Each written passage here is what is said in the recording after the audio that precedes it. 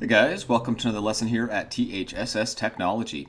Uh, for today's lesson, we're going to dive into Illustrator, and uh, I'm just going to be making a, a very quick uh, vector flat landscape, um, and I'm going to kind of be talking you through my process as I'm designing it, uh, and uh, this will help you a lot with uh, your assets you'll be creating for your Animate project later in the year. So let's get started. so I'm going to start by just designing a very simple tree uh, that we could uh, then uh, repeat and use uh, a few times in the tutorial. So I'm going to start by selecting the square tool. Uh, I'm going to click a nice green for the tree. We're going to do no stroke.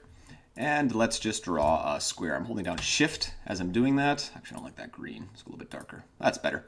I held down shift as I was drawing that rectangle, therefore it's a perfect square. And then I'm going to go to the direct selection tool, grab that, grab that top anchor, put it over the middle, grab that anchor, send that over to the middle as well so we have a triangle. Okay, let's scale that down. I'm going to hold shift as I'm scaling to keep the proportions. And now I'm going to make a copy of this. I'm going to hold down alt, drag this triangle down, and it's going to create a copy.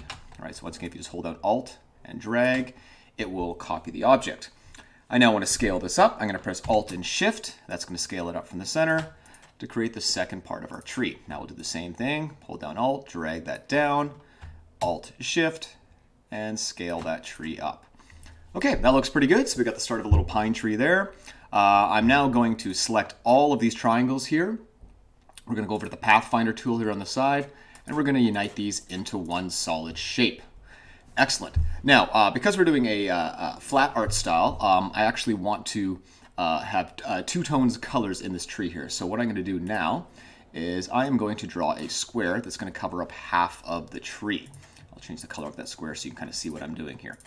Then I'm going to select both of these objects and I'm going to go minus front and that's going to take away half of the tree. I'm then going to take this part of the tree here, hold down Alt, drag it over, create a copy. We're going to right click on it. We're going to go to transform, reflect, and we're going to reflect it on the vertical there and drag that over.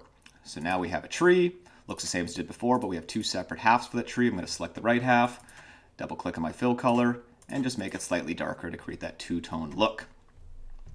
Excellent. So let's make the trunk for the tree now. Let's just select a brown for the trunk. I think that's brown there. Go a little bit lighter for the first half of it. There we go. And we'll go here. Draw some of the trunk like that. Good. Grab this half, hold down Alt, drag it over, take this half, double click, and just darken it up. Excellent. Okay, our tree's done, looking good. Last step, we're going to right click on it and we're going to group it together and just kind of put it off to the side. Excellent. Uh, next, let's draw a mountain. It's the same thing. I'm to go to the square tool, select a gray for the mountain, and let's just draw a, uh, a square there. Okay, direct selection tool. Let's grab these top anchors, push them into the center again, just like we did with the tree to create a triangle.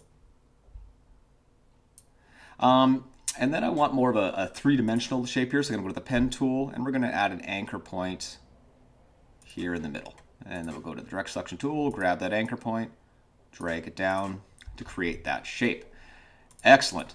Okay, so good start to the mountain. Same thing, let's make it two-tone now. So I'm going to grab the rectangle tool, split that mountain in half, select everything, minus front, grab this, hold Alt, drag over, right-click, transform, reflect, Reflect that there, push it together, grab that side now, and let's darken it up a bit. Okay, looking good. Uh, so let's add a snow cap onto this mountain now. Uh, for that, we're actually going to go to the ellipse tool. We're going to select kind of a, uh, a white color for the snow. And I'm going to draw a circle over top of the mountain there. And uh, we're going to use a new tool here called the Shape Builder tool. So I'm going to select all three of these parts. We're going to go over to Shape Builder here on the side, and I'm going to hold down Alt, and that's going to subtract the top bit of the circle. And then I'm going to add this side here. And what that'll do is now we have there and there, we have our two snow caps. We can take that one and do the same as we've done with everything else and just darken it to create the two-tone. Actually, we'll go a little bit darker than that, a bit more contrast. Great. Okay, select everything, right click, group it. It's a little bit too big, so let's scale that in a little bit.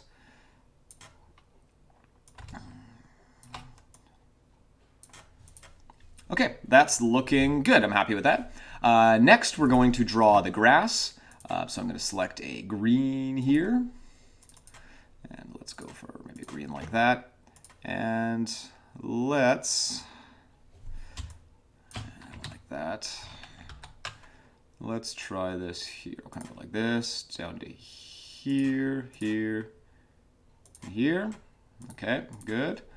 And then let's take a darker green. Go back to the pen tool.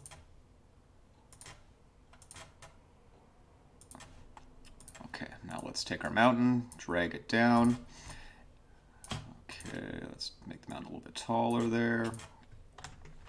Okay, so uh, we have our grass here, but what I want to do is actually want to take this mountain and I want to move it forward uh, more into the foreground. And in order to do that, we're going to right click on it. We're going to go to Arrange, and we're going to bring forward. There, so now our mountains is in front of this hill here, but behind this hill. Um, let's draw a sun next. I'll hold down shift as I'm drawing that circle so it consistent uh, circle there. Let's add a blue background, rectangle tool, create a nice blue for the sky. I'm gonna take that, right click, arrange, send to back. Okay. Uh, you don't need to worry about anything that's outside the artboard, this box here. Uh, when you export the file, you actually won't see any of that. Okay, good. Make sure your sun's on the correct side to be casting the light where it needs to be. Uh, we can take our tree now and we can actually move it uh, to this side of the uh, this side of the image, but it's behind the hill. It's not really where I want it, so I'm gonna right click on it, arrange, bring to front, Let's scale it down, holding shift as I scale. And now we can make a few copies of the tree and scale as needed depending where they are in the foreground or the background.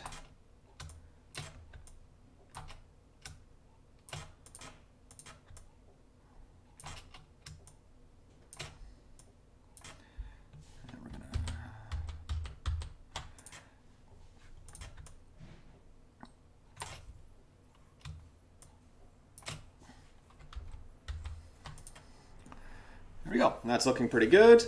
Um, let's add a little road down here on the side over here. So I'm going to go to my ellipse tool.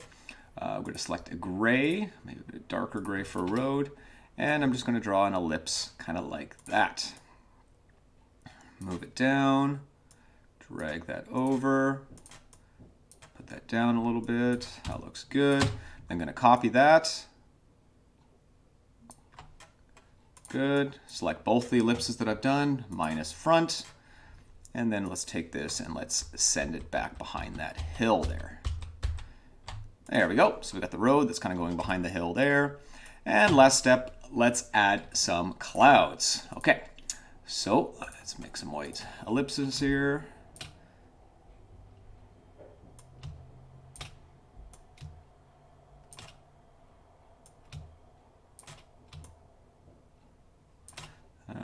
Right. Okay, that looks good.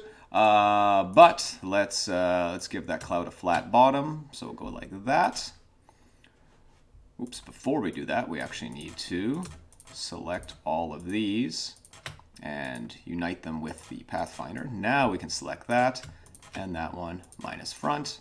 And we got a nice little flat bottom cloud there. We'll put one over there maybe, change it around, scale it down a little bit.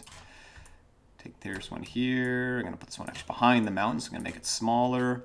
And then maybe we can put one more here that'll actually go in front of the mountain.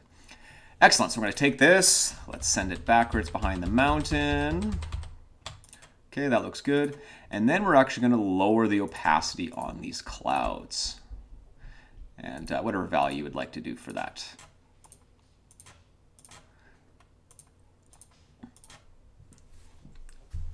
Just a bit too opaque. There, that's better. Excellent. Okay, so as you can see, we're not really using any uh, fancy tools here. So we're just using shapes to build our object. If we press Control Y, uh, we'll actually see what our image is made up of. It's just shapes. Uh, it's nothing overly complicated. It's just how you arrange them. Okay, hope that lesson was beneficial, and we will see you all later. Bye-bye.